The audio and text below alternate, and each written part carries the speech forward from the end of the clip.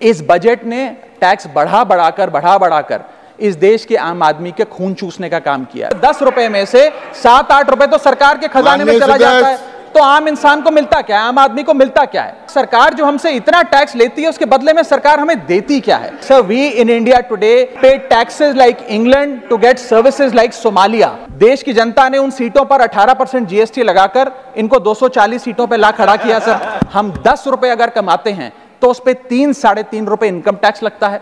उस पर दो से ढाई रुपए जीएसटी खा जाता है। डेढ़ रुपए का कैपिटल गेन टैक्स लगता है।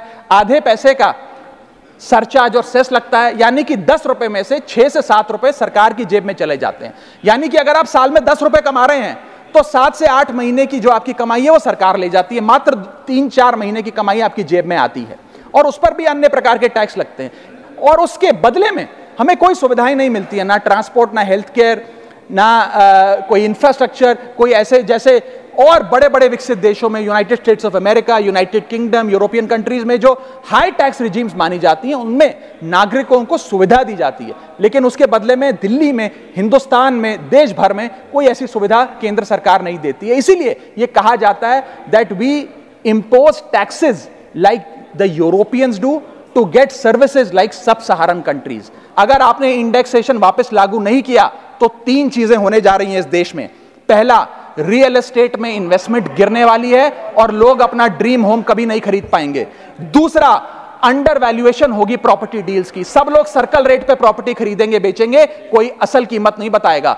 और थर्ड थिंग जो इस देश में होने जा रही है रियल एस्टेट सेक्टर में भारी तादाद में ब्लैक मनी आने जा रहा है, अगर आपने ये इंडेक्सेशन का फैसला वापस नहीं लिया।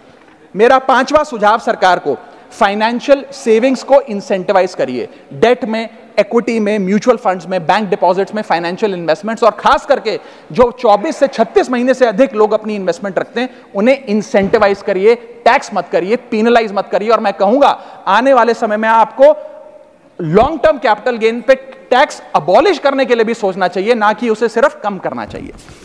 छठा मेरा सुझाव review revise and simplified GST GST जिसे गहरा संकट टैक्स या गब्बर सिंह टैक्स के नाम से आज देशवासी जानते हैं, रोटी हो, कपड़ा हो, मकान हो, हर चीज़ पे जीएसटी लगा लगा कर लगा लगा कर हमने इस देश के इन्फ्लेशन पर भी जीएसटी लगा दिया। सारी चीज़ें महँगी हो गई। मेरा सुझाव है सरकार से कि इस जीएसटी के पूरे फ्रेमवर्क को कॉम्प्रिहेंसिवली स्टडी कर कर रिवाइज करिए। एक्सपोर्ट ओरिएंटेड सेक्टर्स में जीएसटी कम करिए ताकि हम ग्लोबली कंपेटिटिव बन सकें। एसएमई सेक्टर जो नौकरियाँ देता है, छोटे उद्योग हैं उसमें जीएसटी कम करिए और एसेंशियल कमोडिटीज दूध, दही, चावल, रोटी, चावल, आटा, उस पर कम से कम जीएसटी विड्रॉ करिए। मेरा सातवां सवाल, सातवां मेरा सुझाव give more to states India is a union of states states की जेब में थोड़ा पैसा डालिए। कोलिशन पॉलिटिक्स के कंपल्शन हम समझते हैं कि आपको बिहार को, आंध्र प्रदेश को ज़्यादा पैसा देना था। लेकिन उन राज्यों ने, जिन्होंने आपको भरपूर वोट दिया, गुजरात ने, दिल्ली ने, मध्य प्रदेश ने, उड़ीसा ने, झारखंड ने, छत्तीसगढ़ ने, जिन लोगों ने अपने राज्यों की लगभग सारी सीटें आपकी झोली में डाल दी, उनसे क्या गलती हुई? उन राज्यों को आपने दिया एक एक झुंझुना और बाकी दो राज्यों को पे सब कुछ लौटा दिया।